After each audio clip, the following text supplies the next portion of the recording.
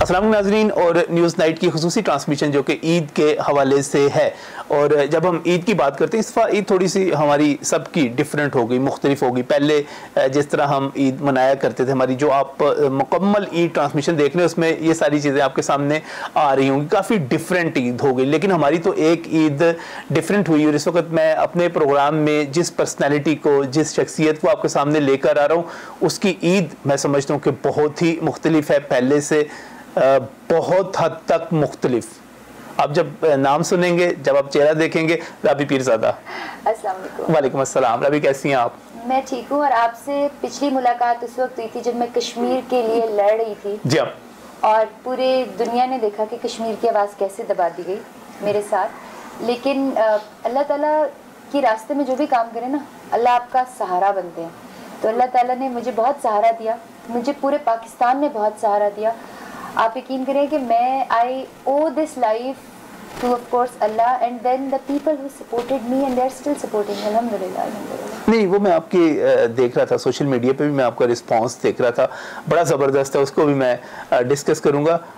लेकिन फ़र्क फ़र्क आया ना पिछली ईद में और इस ईद में फ़र्क तो है। पिछली ईद पर एग्जैक्टली ये फ़र्क है कि मैं पिछली ईद के ऊपर आपको पता है कि पूरा रमज़ान हम सिंगर आराम से बैठते हैं तो ईद पर हमारा कमाई का टाइम होता है। जी। तो ईद के ऊपर हमारे जो कॉन्सर्ट्स होते हैं वो हमारे कोई पच्चीस तीस लाख रुपए तो आराम से बन जाते हैं ईद के डेज़ के फॉरन अगले हफ़्ते के अंदर।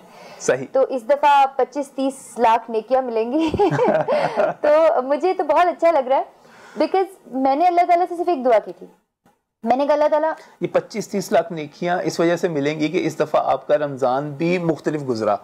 पहले से पहले जितने रमज़ान गुजरे होंगे उससे देखें पिछले रखती नहीं पहले इससे हाँ, पहले रखती थी पक्की बात मैं देखें मैं तो खैर बिल्कुल ही अल्हम्दुलिल्लाह झूठ नहीं बोलती। आ, मैं पिछले रमज़ान के अंदर नूर बीबी ड्रामे की शूट कर रही थी। हम्म। उस्मान पीरजादा मेरे वालिद बने हुए थे। कौन वालदा बनी हुई थी। गौहर रशीद जो थे वो मेरे हस्बैंड बने हुए थे। तो माशाल्लाह बड़ा बड़ा ड्रामा था अच्छा। उनका। और उस ड्रामे के अंदर मैं वाहिद आर्टिस्ट थी। कहना नहीं चाहिए, गिबत हो जाएगी, बुरा भी लगेगा कुछ लोगों को, लेकिन आपने चूँकि क्वेश्चन ऐसे किया कि मैं वाहिद बंदी होती थी जो रोज़े रखती थी। और दोपहर के खाने चल रहे होते थे, चाय चल रही होती थी उनकी, और इन इनफैक्ट जब हम अफ्तारी के ऊपर आके बैठते थे तो सिर्फ़ मेरा रोजा होता था। लेकिन चूँकि चीज़ें बैठते सब थे अफ्तारी सब करते थे और पहले से खाना शुरू हो जाते थे अजान से भी पहले। तो so, मुझे ये चीज़ें लगती बट मुझे बुरा नहीं लगता था। अब मैं आके सोचती हूँ कि हम कितनी गफलत के अंदर होते। अलहमदिल्ला रोज़े रखती थी हम्म। लेकिन इस तरह से नमाज़ नहीं पढ़ती थी। इस तरह से अल्लाह को हर वक्त याद नहीं करती थी। और दूसरी मैं आपको एक बात बताऊँ कि समझ के पढ़ना।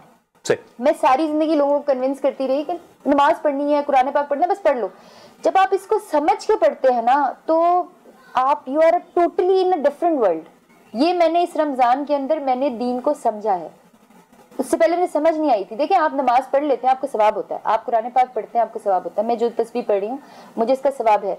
लेकिन जब मुझे मतलब समझ आ जाए मुझे नमाज़ का मतलब समझ आ जाए कि मैं अपने लिए भी सलामती मांग रही हूँ, मैं अपने वालदेन के लिए सलामती मांग रही हूँ, मैं कैसे लोगों के मैं अल्लाह ताला के ऊपर क्या बातें कर रही हूँ, मैं क्या में क्या कर रही हूँ, मैं रुकू में क्या कर रही हूँ, मैं सजदे में क्या कर रही हूँ, जब मुझे, पहले मैं पढ़ती थी नमाजें, मुझे मतलब ही नहीं पता था कि मेरा रब सबसे अजीम है, रब मैंने तेरी हमद की और तेरी हम सुन ली, तूने मेरी सना सुन ली। यानी कि अगर आप नमाज़ का मतलब देखें वो इतना खूबसूरत मतलब है कि वो आपकी ज़िंदगी बदल देता है। And the same goes with Quran पाक आप ऐसे तो ये है ना कि अल्लाह ताला कहते हैं ना सवाउन अलैहिम अनजरतहुम अमलम। तुनजिरहुम ला तो वो सूरह यासीन। हाँ एग्जैक्टली exactly, कि वो ईमान नहीं लाने वाले। कुछ लोगों के दिल के ऊपर तो अल्लाह ताला ने वो कर दिया। अब कुरान पाक के साथ लोग कैसे करते हैं कि अल्लाह ताला ने उसके बारे में भी हमें बताया कि भाई इसी के अंदर फला है इसी के अंदर बर्बादी है यू हैव टू फाइंड तो तस्वीर पकड़ ली। अच्छा ये पता है क्या होता है? ये रिमाइंडर होता है। मैं अच्छा। आपके साथ ऐसे बैठी होंगी ना आप बात कर रहे होंगे मुझे नहीं याद होगा यार मैंने अल्लाह का ज़िक्र करना है। देखिए अल्लाह का ज़िक्र क्या होता है? अब ये इस्लामिक प्रोग्राम बन जाएगा छोटी सी बात करें। अल्लाह का ज़िक्र अल्लाह का ज़िक्र अल्लाह को याद करना नहीं होता या अल्लाह का ज़िक्र करना नहीं होता। हम्म। अल्लाह का ज़िक्र अल्लाह का ज़िक्र करते रहना होता है। चौबीस घंटे याद रखें। नमाज़ पढ़ते हुए बैठते हुए चाहे ये बात नहीं हो रही। अच्छा मैंने किसी से बात करनी है फ़ोन करनी है तो दुआ कर ली। रबिश राहली सिद्री वयसरली अमरी वाहलुल उगदतम मिल यफकाहू कौली कि अल्लाह मेरी ज़बान से इसके दिल के ऊपर असर डाल दे। नहीं मैं तस्बी तस्बी की बात कर रहा था। तस्बी वो बेनज़ीर भुट्टो में भी पकड़ी हुई थी इमरान खान साहब ने भी पकड़ी हुई होती है आजकल और वो उसको जो है प्यारी बात है ना। देखिए जब हिंदू या सिख जो है वो जब अपने नज़र आते हैं हम्म। वो अपना जब अपना मजहबी जब वो करते हैं तो हमें बुरे नहीं लगते जब हिंदुओं ने बिंदी लगाई होती है या सिखों ने पग करी होती है। तो कि किसी मुसलमान ने तस्वीर पकड़ी होती है आपको क्या लगता है फरिश्तों को इल्म होता है? फरिश्तों को गैब का इल्म तो नहीं है ना? फरिश्तों ने आपकी बातों से आपकी हरकतों से पता करना है कि आप मुसलमान हैं या नहीं है। तो जब फरिश्ता आएगा और हर वक्त मैं इस्तगफार कर रही होंगी या मैं अल्हम्दुलिल्लाह या तो से पहचानेगा? आपके ज़िक्र से पहचानेगा। आपके दिल से पहचान- अच्छा। पहचानेगा। आप तस्बीह क्या है? ब्लिंग ब्लिंग चीज़ों का शौक है इसलिए मेरी हर चीज़। ब्लिंग ब्लिंग होती है। ये भी मैं मक्का से लेकर आई थी। अ, मुझे मुझे बहुत शौक है। अबाए का, तस्बीह का। अब देखें अबाए वाली खवातीन से तो मैं भी घबराया करती थी। एक टाइम होता था कि मैं बेकरी मुझे याद है लास्ट टाइम मैंने जीन्स पहनी हुई थी टाइट सी शर्ट पहनी हुई थी। तो बेकरी के अंदर एक अबाए वाली खातून आई मैं अपनी आदत के मुताबिक मैंने कहा ओ माई गॉड फिर मैं ऐसे करके ना साइड पर जाके खड़ी हो गई। मैंने कहा, मैं क्या करूँ? ये मुझे ऐसे देखेगी, जैसे मैं कोई काफिर हूँ, मैं कोई काफिर हूँ भाई, मैंने तो कोई मगरबी कपड़े पहने हुए अब जब मैं बाइक के अंदर जाती हूँ तो मैंने यूजुअली लोग पहचानते तो फेस कवर किया होता है। तो जब कोई मॉडर्न लड़की मेरे से दूर जाके खड़ी होती है ना तो I remember that time Allah से पता है क्या दुआ मांगनी चाहिए। अल्लाह से दुआ मांगनी चाहिए कि एक तो हमें ये नहीं मांगनी चाहिए कि मुझे खूबसूरत कर दे, मुझे इंटेलिजेंट कर ले, मुझे नौकरी दे दे। अल्लाह से दुआ मांगनी चाहिए कि मुझे बस वो बना दे कि मैं तुझे पसंद आ जाऊँ। जब आप अल्लाह को पसंद आ जाएँगे, आप पूरी दुनिया को वैसे ही पसंद आ जाएँगे। चले, लेकिन याद तो आती होगी वो पिछली शोहरत, पिछली पता है क्या, एक एक लाइट्स के अंदर, एक लोगों की वावा के अंदर। अब खैर, वावा तो अभी भी मैं आपको सच्ची बताऊँ, वावा तो अभी भी आपको अप्रिसिएशन जो है वो तो अभी भी आपको मिल रही है। लेकिन एक, वो एक चकाचौंध सी ज़िंदगी, एक हल्ले गुल्ले की ज़िंदगी डिफरेंट ज़िंदगी। याद मैं उसकी बात कर रहा था कि वो याद तो आती होगी। लास्ट ईयर मैंने कोक का नहीं होता फ़ूड पता नहीं क्या होता है पता नहीं वो जो नहीं होता फ़ूड का फेस्टिवल होता है बड़ा सा अच्छा। जिसमें कॉन्सर्ट्स करते हैं हमें पैसे बड़े ज़्यादा मिलते हैं उसमें। और हज़ारों लोग होते हैं तो last year I went there तो पूरा क्राउड जो था चिख रहा था राबी राबी मैंने अच्छा मैं तो भूल गई थी ये रम, रमज़ान से पहले की बात है। तो वो एकदम से मेरे मैं सोशल मीडिया इसीलिए इसी डर से नहीं देखती कि मुझे दोबारा से वापस क्योंकि अक्सर लोग वापस चले जाते हैं। तो वो अली ज़फ़र का कॉन्सर्ट है जिसमें लोग अली अली बोल रहे थे बड़ा ऊँचा ऊँचा मैंने वो कॉन्सर्ट देखा ना एकदम से मेरा दिल ऐसे डूब सा गया। मैंने कहा यार मैं ये मोमेंट कभी नहीं देखूँगी। Hmm. मुझे मैंने डिसीज़न करने से पहले कॉन्सर्ट क्यों नहीं किया? क्या पता कि मुझे मुझे लगता है कि मेरा ये हक बनता था कि मैं आखिरी कॉन्सर्ट को ये सोच के करूँगी वो मेरी ज़िंदगी का आखिरी कॉन्सर्ट है। मुझे तो वो मौका ही नहीं मिला। अब मैं कभी ज़िंदगी में किसी स्टेज के ऊपर नहीं सुनूँगी Rabi Rabi Rabi. I am not gonna listen to that of course I am human being Ramzan से पहले की बात है। मैं बड़ी डिप्रेस हुई। फिर मुझे एक मौलमा उन्होंने बताया कि जब डिप्रेस हो तो लाहौल वाला कुत अल्लाह बिल्ला पढ़े। तो मैंने वो पढ़ना शुरू कर दिया। उसके बाद फिर मैंने रियलाइज़ किया मैंने कहा यार कब तक? कब तक? आपको या मुझे कोई बंदा या इस पूरी दुनिया में कोई बंदा लिख के बता दे यार, मैंने चौदह फरवरी को मरना है या मैंने फ़र्स्ट अप्रैल को मरना है, मैंने किसी को पता हो? तो जो मुझे यहाँ पे राबी राबी कह रहे हैं, क्या पता कल को फरिश्ते अल्लाह ताला को बोले, राबी राबी राबी, ये तेरी बंदी है? जिसने जब इस्लाम को लोग भूल रहे थे या जुदा हो रहे थे या या इस्लाम की तरफ़ जो लोग आते भी थे, आपको पता है टेम्पररी फ़ेज़ आता है, सबके ऊपर आता है। ये तो आप शोबिस के लोगों को देखते ना, इस्लामी होके। आप अपनी जनरल लाइफ में देखें बहुत सारे लोगों के ऊपर दीन आ जाता है वो नमाजें पढ़ना गाड़ियाँ रख लेते मस्जिद में जाना शुरू कर देते हैं फिर एक हफ़्ते बाद या एक मैंने देखे मैं एक साल बाद ठीक हो जाते हैं। और मैं वो बंदी ठीक हो जाते हैं। वापस अपनी दुनिया वगैरह में चले जाते हैं ना जो उनका जो हाँ, एक एक एक जोश एक जुनून के साथ आते हैं। लोग दाढ़ी भी रखते हैं दाढ़ी रख लेते हैं मतलब रमज़ान के अंदर बात लोग कर लेते हैं लेकिन उसके बाद फिर वापस चले जाते हैं। इतना इतना वो करके हाँ। ग्लव्स पहन के वापस जीन्स ऊपर मैंने जाते हुए देखी है। अपनी करीबी अभी खवातीन तो नहीं चली जाएगी। देखिए शोबिस के लोग वापस क्यों जाते हैं? कभी सोचे हैं वापस क्यों जाते हैं शोबिस के लोग? क्यों जाते हैं? क्योंकि वो एक ही काम होता है। मैं पंद्रह साल की थी जब मैंने मैं कुड़ी बड़ी डाडियाँ से काम शुरू किया था। मेरी पूरी ज़िंदगी शोबिस में गुजरी। मेरी पूरी ज़िंदगी गाने में गुजरी। और एकदम से अकेले रह गई। अब मैं क्या काम करूँगी? मुझे तो कुछ नहीं पता। मैं मैं कहाँ पे जाऊँगी? उफ मुझे तो मैं मैं बेकरी जाऊँगी मुझे लोग नहीं पहचानेंगे। मैं वहाँ जाऊँगी मुझे तो लोग नहीं पहचानेंगे। तो खत्म होगी राबी। मैं पैसे कहाँ से कमाऊँगी? सबसे बड़ी बात मुझे कॉन्सर्ट के जिस वक्त ये हुआ था, ये सात डिफेंस क्लब है। उन्होंने जिस वक्त मैंने शोबिस छोड़ने का इरादा किया था तो तब जो मेरे इम्तहान थे, उसमें जहाँ पे इंडियन की मूवीज़ थी, पाकिस्तान के ड्रामास थे, वहाँ पर कॉन्सर्ट्स भी थे। ये सात डिफेंस क्लब वालों ने मुझे फैमिली गाला के लिए कॉन्सर्ट के लिए बुलाया। हुआ था बड़े अच्छे पैसे भी दे रहे थे। तो वो डेफिनेटली मुझे भी तैयार, अब मैं पैसे कहाँ से कमाऊँगी? नजम साहब, मैं वो खुशकिस्मत इंसान हूँ, जिसने अपनी ज़िंदगी में कभी कैलीग्राफी नहीं खरीदी। लाखों रुपए की मेरी पेंटिंग्स और कैलीग्राफीज बिक रही हैं इस वक्त। लाखों रुपए की, अल्हम्दुलिल्लाह। और मैं ऐसी हूँ मेरे पूरे घर में देख लें, उर्दू की राइटिंग मेरी अभी आप चलेंगे, मैं आपको दिखाती हूँ, मैं लाइव लिख के दिखाऊँगी। मैं उर्दू लिखूँगी, मैं अरेबिक लिखूँगी। मेरे, मैं एक मुआवजा हूँ अल्लाह का। मुआवजा ये नहीं है कि सांप, शेर, जानवर, मगरमच्छ मुझसे प्यार करते हैं। मुआवजा ये नहीं है कि मैं कहीं पर भी चली जाऊँ, अल्हम्दुलिल्लाह। मैं एक दफ़ा इमाम बारगाह में गई। ये बड़ा ज़बरदस्त किस्सा है जो कि मेरी पूरी टीम कैपिटल की टीम आप भी जानते होंगे, वो साथ थे। तो वहाँ पर उनके जो जुलझना थे जो आ, मैं नहीं किसी की भी दिल आजारी नहीं करना चाह रही वो थोड़ी सी उनकी तबीयत ख़राब थी वो गुस्सा कर रहे थे। मैं एक सुन्नी बंदी मैं इंटरव्यू करने के लिए गई मैं वहाँ पे गई मैंने कहा भाई लेट मी डू इट वो घोड़ा वो जुलझना उन्होंने ऐसे करके यूँ सर नीचे किया और मैं उसको प्यार कर रही हूँ। अल्लाह का ये मुआवजा कम था। मैं मुआवजात को पहचानती ही नहीं थी। जो काम मैं कर सकती थी एक बंदी कराटे भी कर रही है वो ब्लैक बेल्ट ले रही है कराटे में, गोल्ड मेडल ले रही है, एक बंदी जहाज़ चला रही है, एक बंदी कार रेसिंग, हैवी बाइक चला रही है, वो एमिनेशन ऐसा चला रही है, अल्लाह ने मुझे पहले कितनी थी, जब अल्लाह ने मुझे शोबे से हटाया ना, अल्लाह ने मेरे हाथों के ऊपर इल्म दिया। मुझे पहले नहीं समझ आई, मैं बड़ी डिप्रेशन मैंने कहा, यार, मैं क्या करूँगी? मैंने अल्लाह लिखा, फिर मैंने पहला खाना काबा बनाया जो मैंने अपने अब्बू को गिफ्ट किया। फिर मैं बनाती गई बनाती गई, मैं अल्लाह का नाम लिखती गई, मुझे किसी फॉन्ट का नहीं पता। अब तो खैर, थोड़ा बहुत अब मैं झूठ नहीं बोलूँगी, अब मैंने थोड़ा बहुत स्टडी किया इधर उधर से एज सच मैंने कोई रेगुलर तालीम नहीं ली। मुझे नहीं पता सुलिस क्या है दीवानी क्या है नस्ताली क्या है। अब थोड़ा बहुत आइडिया हो जाता है, मैंने नहीं सीखा। मैंने नहीं सीखा। अब मैंने पेंटिंग उसके बाद जब मैंने पेंटिंग शुरू की, अल्लाह ने कहा कि शायद इसके अंदर इसको पैसे, क्योंकि आपको पता है, मुसलमान, मेरी कैलीग्राफीज लंदन ज़्यादा जाती हैं।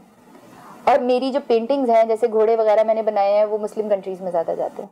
तो अल्लाह ने ये सोचा कि भाई मुसलमान तो शायद यानी कि आम आदमी को आप एक पैगाम देती हैं कि अगर you will turn to Allah तो घाटे का सौदा नहीं रहेगा अल्लाह ताला करम करेंगे। अल्लाह ताला करम करेंगे आप यू हैव टू फेथ ये जो लोग हाँ. वापस जाते हैं ना वो फेथ छोड़ देते हैं। मेरे पास भी एक टाइम आया था यार मैं क्या कमाऊँगी यार? पंद्रह बीस लाख रुपए एक बंदी महीने के कमा रही है। वो ज़ीरो पर आ जाती है मुझे बताएँ कि वो आप क्या और मैं फेथ करी ब्लाइंड फेथ अल्लाह ताला के ऊपर अल्लाह ताला को नज़र ही नहीं आता। अल्लाह ताला ने तो कभी मुझे सामने दिखाया नहीं। इतने हज़ारों करोड़ों लोग हैं जो अल्लाह की इबादत कर रहे हैं। अल्लाह ताला ये रावी पीरजादा को क्यों देख रहा होगा? और भी बहुत सारी खातन हमारी मैं तो बंदों की बात तो आप छोड़े बंदे तो बहुत सारे थे। खातन इस तरह दीन की राह में आके वापस चली गई क्यों चली गई? घाटा पड़ गया। घाटा पड़ गया। अब अल्लाह ताला के ऊपर आप लेकिन वो भी एक आजमाइश हो सकती। आजमाइश होती है। देखिए आजमाइश मेरे पर भी आई। मैं कोई शुरू से पेंटिंग थोड़ी बेचना शुरू होगी। मेरी पहली पेंटिंग बिकी थी डेढ़ लाख रुपए की। और मैं, फिर मुझे इस्लामिक लेक्चर्स अब आप ये देखें, अल्लाह का I am being paid for Islamic lectures अल्हम्दुलिल्लाह। मुझे कोई लंदन के मदरसे के लोग आए थे, उन्होंने मैंने कहा, भाई देखो, मैं सीख रही हूँ, मैं बहुत मेहनत कर रही हूँ, मुझे अभी मौलमा मत बनाओ, मैं तो भी खुद, मैं हर एक को बोलती हूँ। मैं अपने हर लेक्चर में बोलती हूँ कि मुझे तो सीखते हुए अभी साल भी नहीं हुआ, आठ महीने हुए मैं मौलमा नहीं हूँ। वो, उन्होंने कोई थे लंदन के मदरसे वाले थे, उन्होंने कहा, जी, हम आपको पर लेक्चर इतने पैसे देते हैं।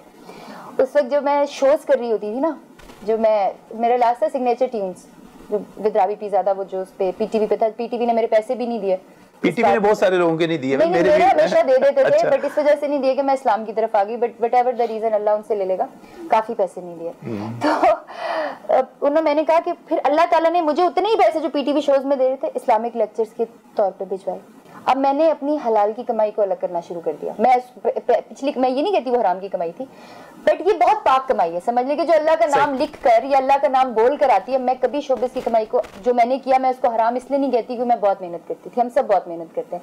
हम क्या कह सकते हैं कि किस बंदे का क्या पता ये जो ये जो कैमरे वाले भाई हैं ये अल्लाह के नज़दीक मेरे से ज़्यादा मोतबर हो। मैं तो किस, किसी की कमाई को कुछ नहीं कह रही लेकिन वो बहुत पाक कमाई थी और मैंने जब सुना था कि खाना काबा जब बनाना था उन्होंने पाक कमाई से किया तो मैंने पाक कमाई के ना पैसे अलग करना शुरू कर दिए मैं फ़र्स्ट टाइम बता रही हूँ। वो मैंने एक पाउच था, उसके अंदर ना मैं मक्का से ही लाई थी, मैंने वो पैसे डालने शुरू कर दिए। जब मैंने उसके अंदर पैसे डालने शुरू कर दिए, उस हफ़्ते मुझे लेक्चर्स के बहुत सारे पैसे मिले, मुझे कैलीग्राफीज के पैसे मिले, मुझे पेंटिंग्स के पैसे मिले, मैं सारे जमा करती रही। फिर मैंने सोचा कि देखो, मैं किसी भी चीज़ को ये नहीं कह सकती कि शोबिस की कमाई से नहीं है। फिर मैंने एक नया काम सोचा कि मैं अबाए का काम करूँगी, और अबाए का जो एक एक धागा है ना एक एक कपड़ा जो है, वो मेरी दीन की कमाई से होगा।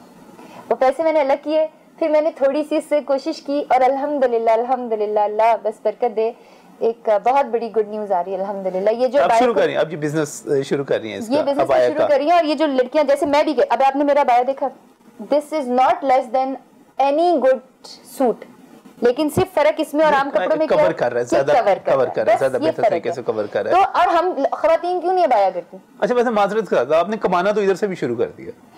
अच्छा नहीं आपकी माजरत बिल्कुल होल एक्सेप्टेडली मैंने कमाना नहीं शुरू किया अल्लाह ने मुझे रिस्क भेजा। हर इंसान को हक है कि वो हलाल रिस्क कमाए।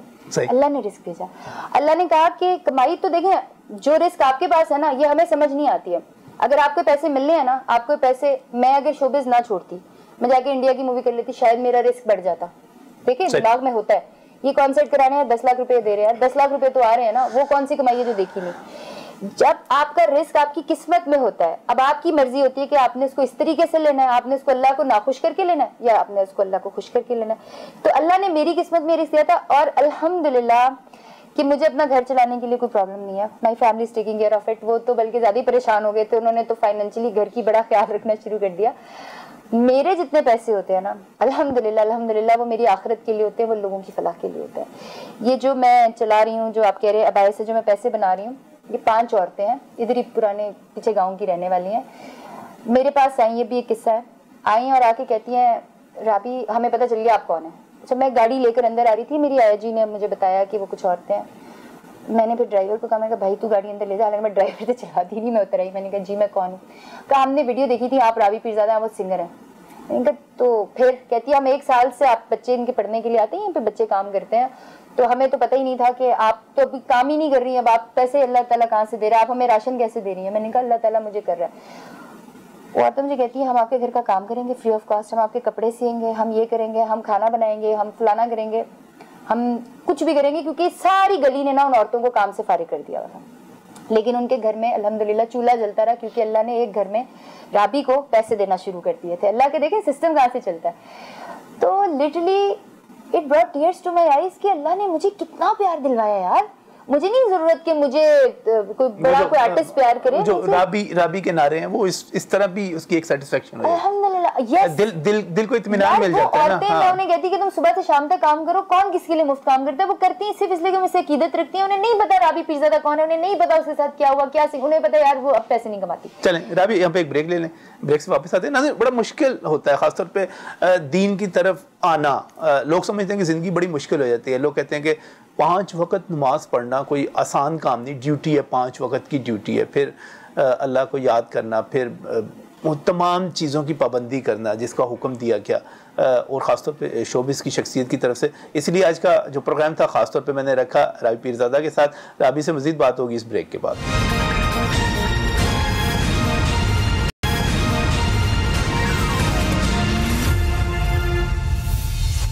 Welcome back from break Nazin, बात करें राबी पीरजादा के साथ। राबी हमारे साथ मौजूद और सबसे बड़ी बात फिर वही कि अल्लाह की तरफ़ आ जाना एक बड़ी बात। पिछली ईद राबी पीरजादा की बाकी किसी और तरह से थी। पिछला पूरा साल, पिछली पूरी उम्र जो थी किसी और तरह से थी और इस वक्त अल्लाह ताला आपको इस्तकामत दे राबी मैं तो ये दुआ करता हूँ। वैसे कुछ आप में मुझे वो जुनेद जमशेद का टच नज़र आ रहा है।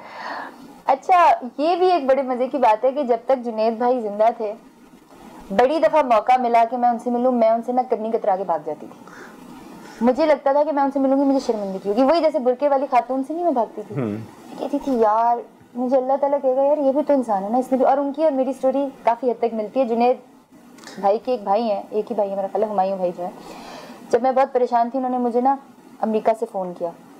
क्योंकि मौलाना तारिक जमील साहब से मेरी बात हो रही थी तो शायद मौलाना तारिक जमील साहब ने उनको कहा कि इसको ज़रा फ़ोन करके बताओ तो उन्होंने मुझे कहा, मैंने कहा, यार, मैं तो कश्मीर के लिए बात करी थी, मैं सच जाती होगी, उनको मैंने बोला।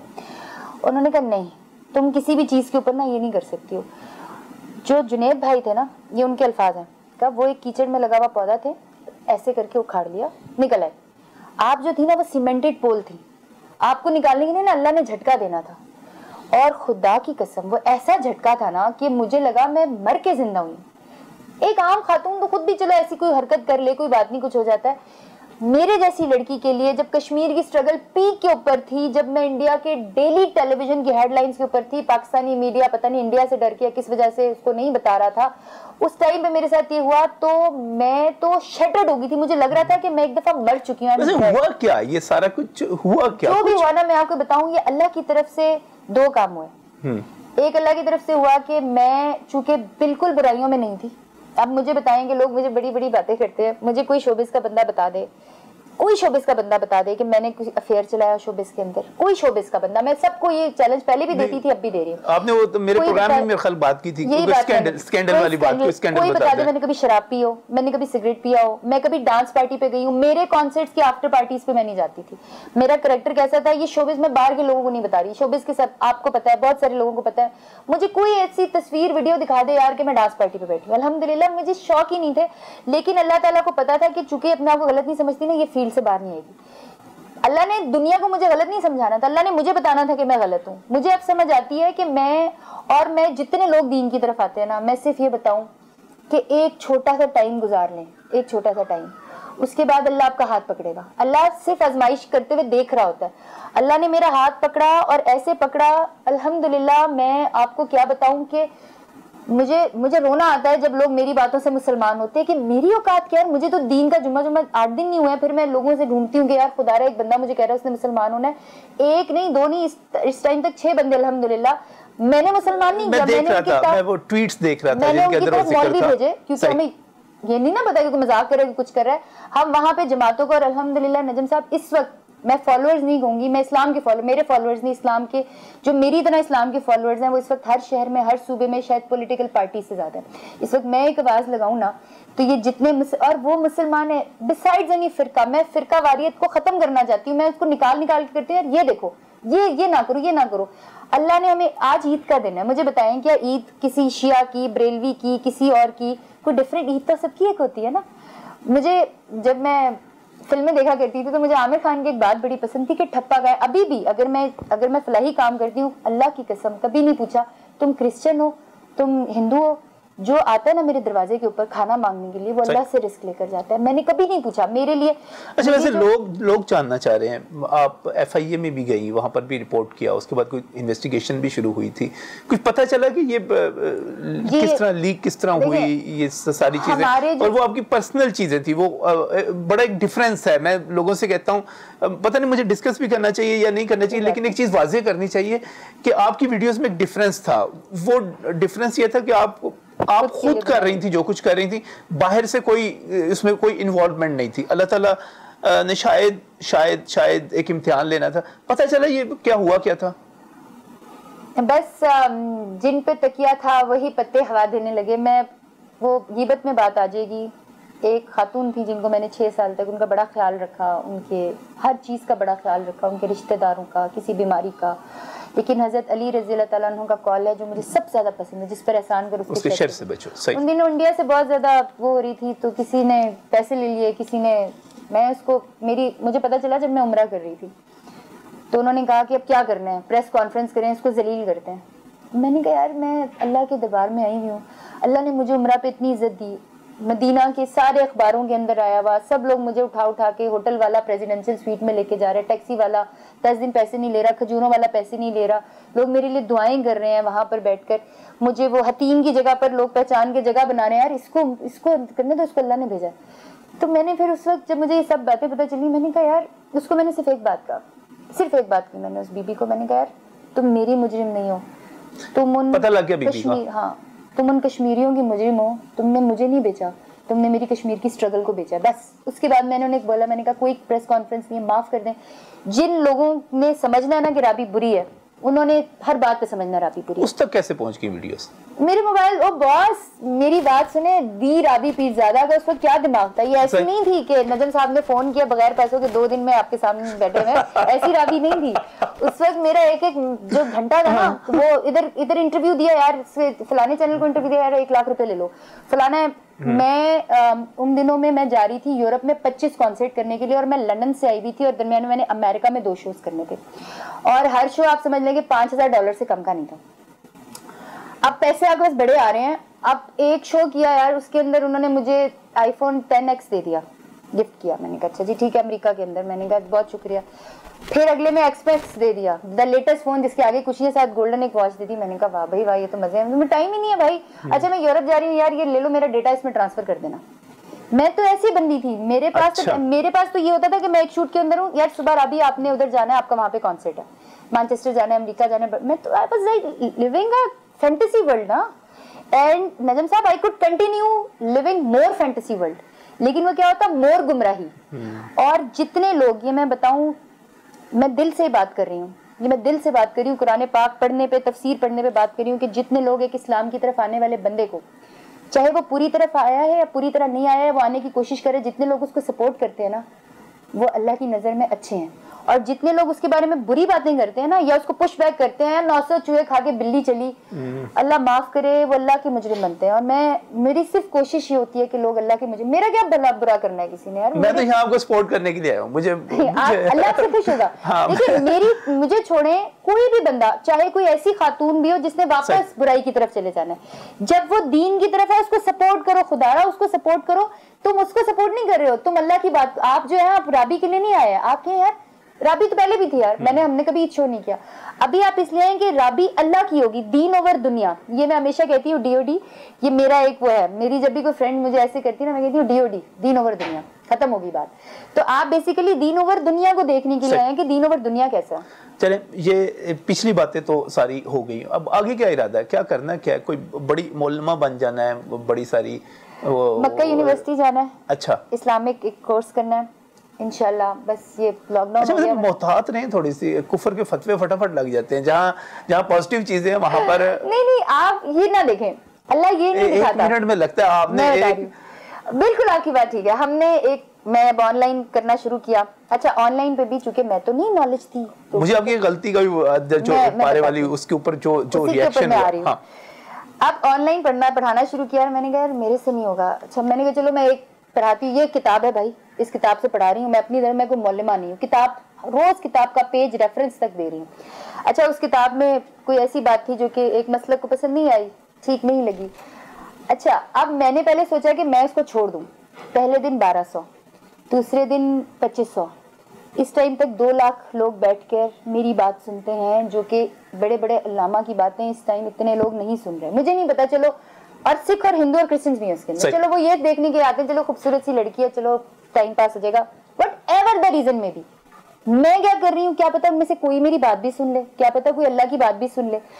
और इतने अच्छा ये जो आपकी बात है ना हमने क्या किया हम लाइव अब पता है आपको बहुत ज़्यादा गलतियाँ आप बहुत ज़्यादा गलतियाँ कर देते हैं तो थर्टी सूरत करनी थी। हाँ। मेरे मुँह से थर्टी पारा निकल गया कि हमारे घंटे से बोल रही हूँ मैं तो मोलमा तो नहीं हूँ मैं तो सिंगर हूँ गॉड से मैं तो गाने गाती आई हूँ।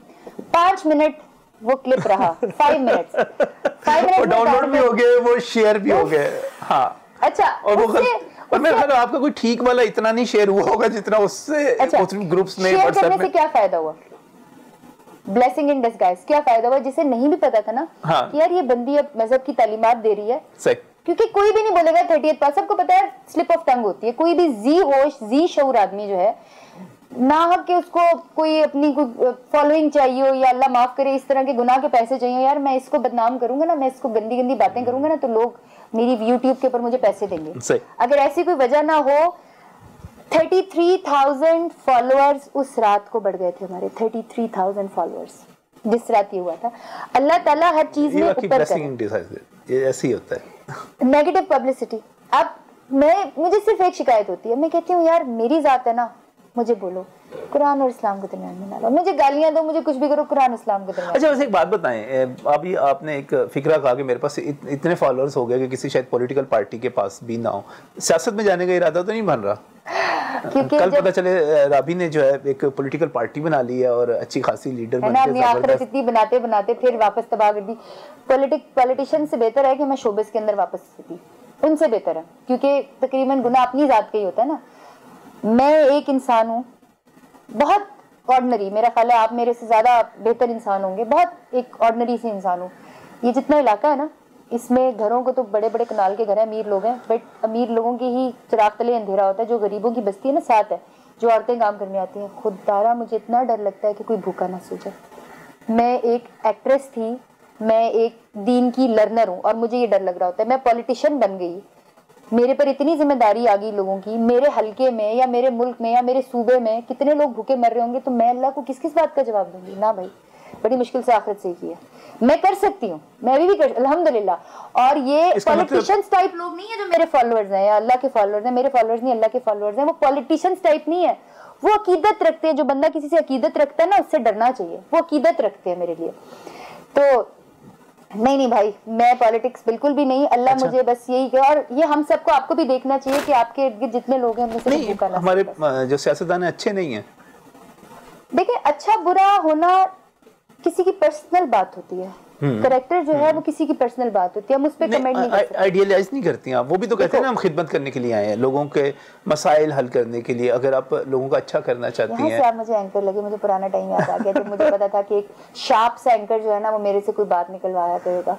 देखिए मुझे पुराना टाइम ऐसे आप पूछ रहे थे ना डेजब हुआ। नहीं आप देखें अच्छे बुरे लोग हर जगह पर होते हैं लेकिन कुछ डिमांड्स होती हैं। जैसे सिंगर्स में भी अच्छे बुरे लोग होते होंगे लेकिन कुछ डिमांड्स होती हैं। आपको हम्म। गंदे कपड़े पहनकर सामने आना पड़ता है गाना पड़ता है।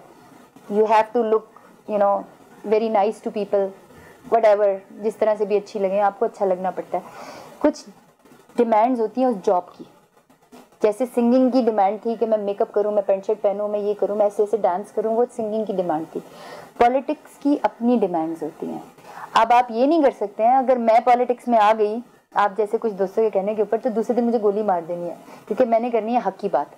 तो वो मेरी, जिस पिंड जाने नहीं होती राह की पूछिए मेरा काम जो है ना अल्लाह ने हमें पॉलिटिक्स करने के लिए नहीं भेजा अल्लाह ने हमें दो कामों के लिए भेजा एक लोगों की फलाह के लिए एक हमें अल्लाह का ज़िक्र करने के लिए। जो कि फरिश्ते तो अल्लाह के पास बहुत थे लेकिन अल्लाह ने शैतान को भी तो दिखाना ना। हम जब अल्लाह का ज़िक्र कर रहे होते हैं तो अल्लाह तला को क्या ज़रूरत है? चालीस हज़ार फरिश्ते मस्जिद नबी में रोज उतरते हैं जो रिपीट नहीं होंगे क्या तक। अल्लाह को क्या ज़रूरत है कि नजम साहब नमाज़ पढ़े या राबी नमाज़ पढ़े या अल्लाह अल्लाह करिए क्या ज़रूरत है अल्लाह तला को? फरिश्तों से करा ले। अल्लाह ताला ने हमें टेस्ट में डाल के कराना है कि तुम मेरा ज़िक्र करो और उस वक्त करो जब तुमने मुझे नहीं देखा। और मैं आपको ये बात बता दूँ हमें जिस दिन यकीन आ जाएगा ना कि यार अल्लाह देख रहा है हम हम मानते हैं कि हम अल्लाह पे यकीन रखते हैं।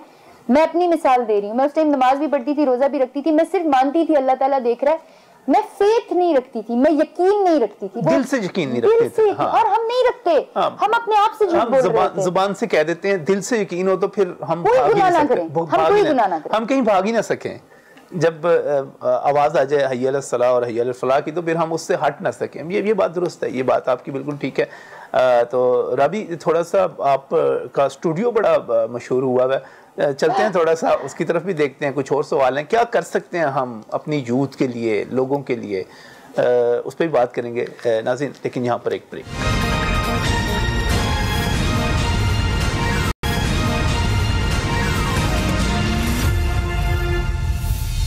Welcome back from break Nazin इस वक्त हम राबी पीरजादा के उस स्टूडियो में मौजूद है जहाँ पर वो कैलीग्राफी करती हैं पेंटिंग्स करती हैं और ये माशाल्लाह एक बहुत ही खूबसूरत पेंटिंग है। खाना काबा की एक उस तरफ़ है।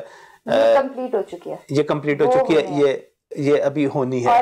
अब कैलीग्राफी कर रही थी। मैं देख रहा था कि आप कुरान पाक भी लिख रही थी माशाल्लाह। आयतुल कुर्सी आपने लिखी। कैलीग्राफी सीखी कहीं से आपने? नहीं सीखी नहीं बिल्कुल भी नहीं सीखी। और मैं आपको बता रही हूँ कि अभी मैं आपको उर्दू की हैंड राइटिंग दिखाऊँगी। इधर ही जो मैंने नोट्स बनाए होते हैं अपने। मेरी uh, मैंने बताया ना कि मैं बोर्ड वगैरह टॉप करती रही हूँ। The only thing which I couldn't do it was my Urdu handwriting it's like worst Allah ने मुझे, मैं बता रही हूँ कि गिफ्ट दिए हैं। Calligraphy is a gift from Allah even painting painting तो अब मैंने बहुत ज़्यादा सीरियस होकर सीखनी शुरू कर दी है सर जे से, मैं आठ साल से जानती हूँ। पेंटिंग में ऑन एंड ऑन कभी कभी लेसन ले लेती थी उनसे। मैं सीखती रहती थी पेंटिंग को प्रोफेशनली भी सीखती थी, लेकिन चूँकि टाइम नहीं मिलता था, पैसे नहीं थे उसके यार इसके ऊपर क्या आपने वो करनी है तो कैलीग्राफी तो मैंने नहीं सीखी। अब शायद मैं सीखूं इतनी ज़्यादा करने के बाद। पेंटिंग मैं सर जेआरएफ से सीखती हूँ। तो ये सारा काम जो है ये सारा काम बुनियादी तौर पर ये कहा जा सकता है कि आप बगैर सीखे हुए गॉड गिफ्टेड है। अल्लाह ताला ने एक गिफ्ट दिया एक अल्लाह ताला ने आपको तोहफा दिया नेमत दी कि चलें जी एक तरफ़ से आप हटी हैं एक तरफ़ से आप पीछे हटी हैं तो आपको दूसरी जगह से ये बात भी अल्लाह ताला दे देते हैं। अल्लाह ताला नवाज़ देते हैं अल्लाह ताला कर्म कर देते हैं वो रिस्क जो है दे देते हैं। बड़ी बात की आपने बहुत प्यारी बात की कि जो आपके नसीब का रिस्क है ना ये बात मुझे जब मेरे अबू कहते थे ना शुभ छोड़ दो तो वो ये कहते थे राबी जो तुम्हारा रिस्क है ना जो तुम्हारे नसीब में वो तुम्हें मिल जाएगा। तब मुझे समझ नहीं आती थी। मैं कहती थी मैं सॉफ्टवेयर इंजीनियर हूँ। मैंने जो मैं पढ़ रही होती थी तो अच्छा सॉफ्टवेयर इंजीनियर ये मुझे नहीं इसका नहीं certified software engineer I worked in Netsol as well तो मैं पढ़ी लिखी इंसान हूँ। तो अब वो असल में होता ही है कि हम यूजुअली जो बहुत इस्लामिक रिलीजियस टाइप लोग होते हैं ना ये भी मैंने दूसरी बात ये नोट की है। कि कोई भी रिलीजियस इस तरह की खातन होगी ना, आपको ना वो डॉक्टर लगेगी, ना वो इंजीनियर लगेगी। आपको लगेगी, यार, वो हाउस वाइफ है, उसने बस कुराने पाक ही पढ़ा है। हालाँकि मैंने जब देखा है कि बहुत ज़्यादा जो रिलीजियस खातन हैं, वो बहुत एजुकेटेड भी हैं।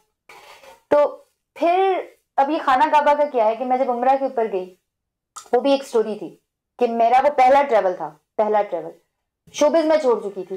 बट वो जिसमें होता ना कि यकीन के गैप के ऊपर पूरा यकीन, अल्लाह पर सब कुछ छोड़ दिया, वो मैंने नहीं किया हुआ था। नहीं किया हुआ था मैं अभी तक उसमें भी मैंने कहा, ये देखो जरा, अब मैं ट्रेवल कर रही हूँ, पहली दफ़ा मुल्क से बाहर जा रही हूँ कि मैं इकोनॉमी में सफ़र करूँगी, मेरी आम सी ज़िंदगी होगी। मुझे तो आदत ही कोई नहीं थी ना इस काम की, कि मैं और अननोन चली जाऊँ या मैं इकोनॉमी में चली जाऊँ। दिमाग खराब था। आ गई जनाब उम्र करने के लिए ज़बरदस्ती। उम्र मैं अपनी मर्ज़ी से नहीं गई थी। मैं ज़बरदस्ती अपने आप को खींच के लेके गई थी देखो तो सही होता क्या एयरपोर्ट से अल्लाह ने मेरा प्रोटोकॉल स्टार्ट कराया। पीआईए वालों ने उठा के ना बिज़नेस क्लास में मुझे मेरी अम्मी को कर दिया। वापसी की तो टिकट ही अपग्रेड करवा दी कंपनी ने। उसके बाद जब हम होटल के अंदर गए तो वो किसी मिस्त्री का होटल था। तब मुझे नहीं पता था कि मक्का, मदीना में ना, क्योंकि वो सऊदी की बादशाहत है ना तो वो एक ही अखबार आता है जो कि उनके महल से आता है। उसके अंदर सब में मेरी तस्वीर लगी हुई थी कि जी, ये this Pakistani singer she turn towards Deen and she is here for उम्र अच्छा खैर, वो मैंने देखा, मैं चुप हो गई, मैं आगे गई। फिर एक वाजबी सा नॉर्मल ट्विन बेडरूम टाइप था जैसे हमारे म्यूजिशियंस को कमरे नहीं मिलते। उस वक्त मैं आपको दिल की बात बता रही हूँ मैंने जब वो कमरा देखा ना ट्विन बेड सा था नॉर्म अच्छा यानी कि हमारे होटल में हमें बड़े कमरे मिलते थे म्यूजिशियंस को नॉर्मल से मिलते थे। मैंने कहा चलो आगे म्यूजिशियंस के म्यार के ऊपर वैसे अब अल्लाह से शिकायतें कर रही थी अल्लाह माफ़ हम्म। करे मुझे। मैंने कहा तुम्हें बड़े गलत किया यार मैंने शोबिस छोड़ दिया यार अभी मैं कितने बड़ी जगह पर थी प्रोटोकॉल ही लगने लगी थी मैं तो क्या ये कमरा कोई कमरा अम्मी मेरी बड़ी खुश। चलो यार अच्छा साफ़ सुथरा प्यारा सा कमरा अच्छे मिलेनियम होटल में कमरा उसके बाद हम अगले दिन जब नाश्ता करने के लिए गए तो पता चला जी, हमारे कमरे के बिल के अंदर, मुझे तो ये बातें पता ही नहीं थी, मैं तो रूम सर्विस अन्य वहाँ खर्च करने वाली बंदी थी कि पैसे तो ऑर्गेनाइजर्स ने देने। उन्होंने कहा जी, आपके, ये जो, इसकी कुछ साठ रियाल का एक बंदे का खाना है, वो था फाइव स्टार होटल था, पैसे, खाना भी महँगा था, उसका कमरा भी, मैं, अम्मी कहती मैंने कहा, चलिए अम्मी कर लेते हैं। पैसे हमारे पास कम थे।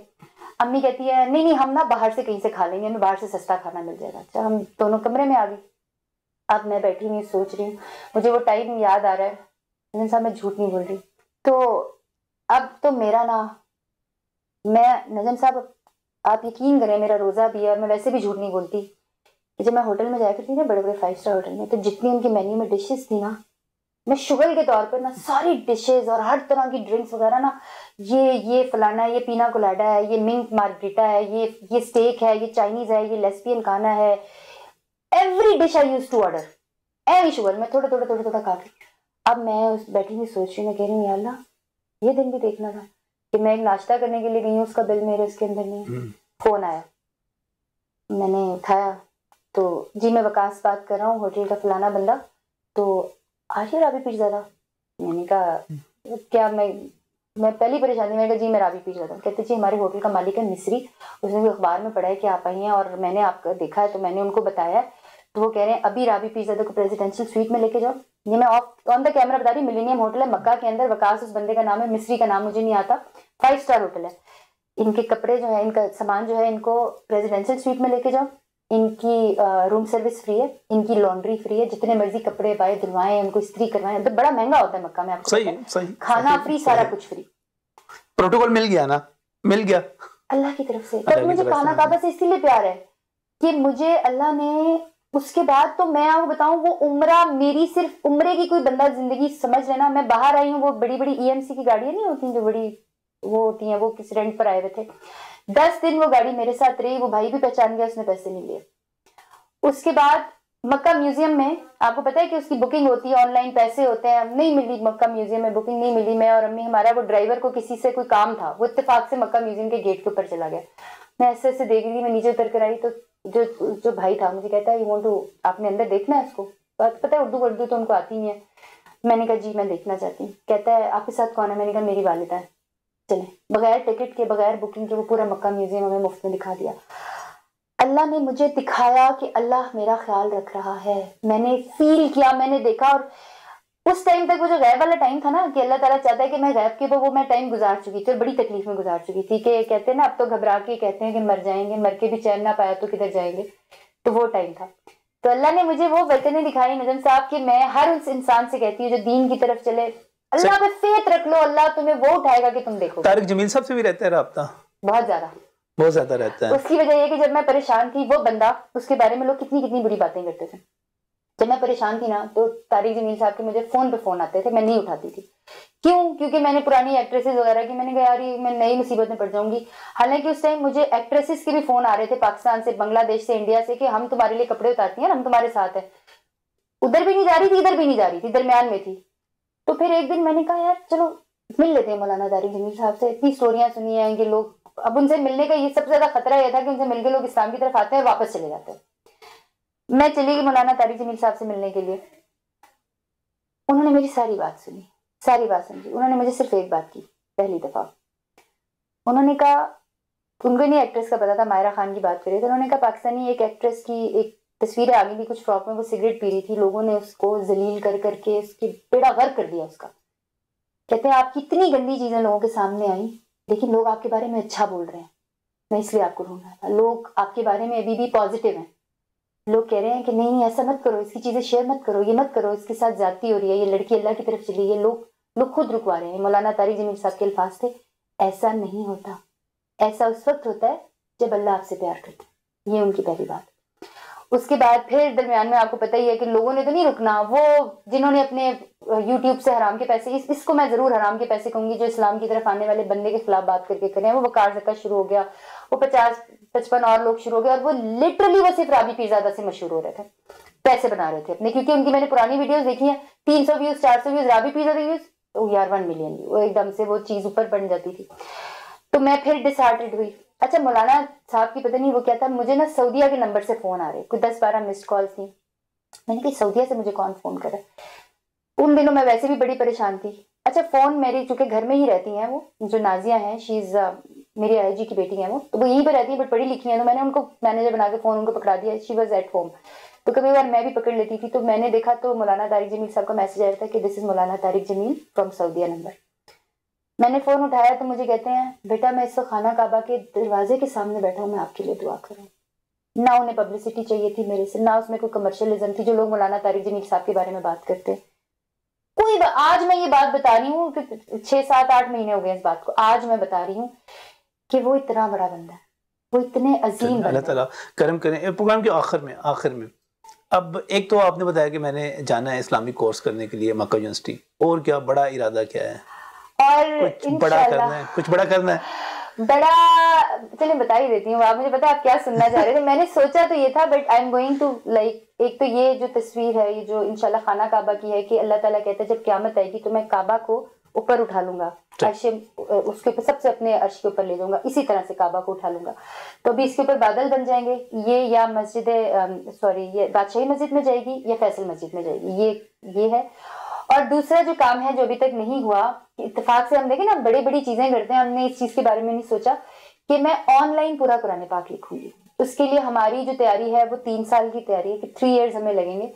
उसकी टेबल्स बन रही हैं, उसका पेपर बन रहा है, उसके लिए जो कलम, दवात है, वो इम्पोर्ट होकर आ रहे हैं। अदील हैं, इनाम भाई हैं, उनकी बहन है तो ये कुछ लोग हैं जो हमें इसके अंदर सपोर्ट कर रहे हैं। छोटी सी हमने टीम बनाई है। और ये होगा कि चूँकि मुझे अभी अभी मुझे दीन इतना नहीं आता, मैं दीन को सीख रही हूँ। आपने मेरे नोट्स देखे हैं, कुरान पाक के, तफसीर के और हदीस के, पता नहीं क्या क्या मैंने बनाए हुए लेकिन लोग जो है ना, वो पूरी दुनिया में मुझे इस्लामिक लेक्चर्स के लिए बुला रहे हैं, अभी से बुला रहे हैं। ये मैं इसलिए नहीं जा रही कि मैं कहती हूँ, मुझे दीन सीख तो लेने दो। मैं कमर्शलिज्म पे या मैं उसी लाइमलाइट पे वापस नहीं जाना चाहती। मेरी नीयत, अल्लाह कहते हैं, नीयत पे दूँगा। जिस दिन मेरी नीयत होगी ना यार कि मैं कॉन्सर्ट को मिस कर रही हूँ, इसलिए मैं किसी जगह पर, अभी मुझे एमरेट्स पैलेस वालों का फ़ोन आया था। इट्स ह्यूज बड़ी, बहुत बड़ी जगह है कि आप आप आकर इस्लामिक लेक्चर दे। मैंने कहा भी नहीं। जिस वक्त मेरे दिल से बात हो जाएगी ना कि मैं इस्लामिक लेक्चर्स को कॉन्सेप्ट का सब्सटीट्यूट नहीं समझ रही हूँ। जिस वक्त मैं वहाँ पर सिर्फ़ इसलिए जाऊँगी कि मैं यार उस पैलेस में इतनी बड़ी, जैसे कॉन्सर्ट होता था ना फैमिली अरीना में मैंने कॉन्सर्ट किया, यार स्ट्रिंग्स के साथ कॉन्सर्ट किया, ये मेरी कामयाबी है। ये जब तक कीड़ा नहीं ना मेरे दिमाग से निकलता, जब मैं इसलिए नहीं जाऊँगी कि मुझे अल्लाह की बात मैं उधर लेकर जा रही हूँ और मेरा मकसद सिर्फ़ अल्लाह को राज़ी करना है तब तक मैंने कोई ऐसे इस्लामिक लेक्चर नहीं करना चलें जी अल्लाह ताला अल्लाह ताला आपको इस्तकामत दें अल्लाह ताला आपको और नजीन ये प्रोग्राम इस वक्त राबी यहाँ पर मेरे साथ मौजूद और इनके साथ प्रोग्राम करने का मकसद क्या था? मकसद ये था कि आपको बताया जाए कि अगर आप अल्लाह की तरफ़ लौटते हैं तो अल्लाह ताला भी आपकी तरफ़ लौट आते हैं। आपका फ़र्ज़ असकुम वाशकरूनी वाला तकफरून कि तुम मेरा ज़िक्र करो मैं तुम्हारा करूँगा और मेरी नाशुक्री ना करो। और तो ये ये एक मिसाल है आपके सामने। अल्लाह ताला हम सबको राय रास्त पे रखें हम सबको अच्छा सोचने अच्छा करने की तोफीक दें। कुछ अच्छा आप इस प्रोग्राम से ड्राइव करें। कुछ एक भी मेरी बहन मेरा भाई अगर राबी की बात सुनकर सुनकर अपने आप को बदलने का अहद करे और देखे कि एक इतनी बड़ी शोबिस की स्टार बड़ी स्टार एक बड़ी सिंगर जो हैं, टीवी होस्ट, प्रोग्राम्स करना, फ़िल्म करना, सारा कुछ करना, अगर वो मुतमिन है तो आप भी हो सकते हैं। आज की ईद के हवाले से मेरा ख्याल है इससे बेहतर पैगाम क्या हो सकता है कि जब अगला रमज़ान आए तो आप भी बदले हुए हों। शुक्रिया राबी का, और आप सब का भी। नाजिन एक मरतबा फिर आपको गुजरती हुई ईद मुबारक। अल्लाह हाफिज़। आपसे फिर रूटीन के प्रोग्राम से मुलाकात होगी। तब तक के लिए अल्लाह हाफिज़।